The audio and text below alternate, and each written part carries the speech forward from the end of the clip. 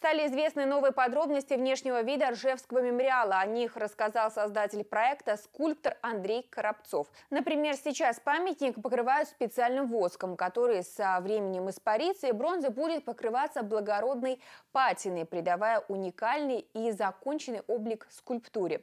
Входная группа мемориала будет выполнена в виде полигонов из картеневской стали, то есть устойчивой к коррозии. Однако до открытия плиты с именами тысяч бойцов, воевавших под Оржевом, специально покроют ржавчиной. Такой замысел скульптора. Немаловажную роль в целостном восприятии мемориала будет играть подсветка. Так, вдоль картеневских стен и под венком у подножия солдата оборудуют красными фонарями. Брусчатка будет сделана из темно-синего лабрадорита. При попадании на него прямых солнечных лучей или при ярком искусственном освещении он переливается цветами радуги, словно всполохи северного сияния. Поэтому минерал еще называют магическим.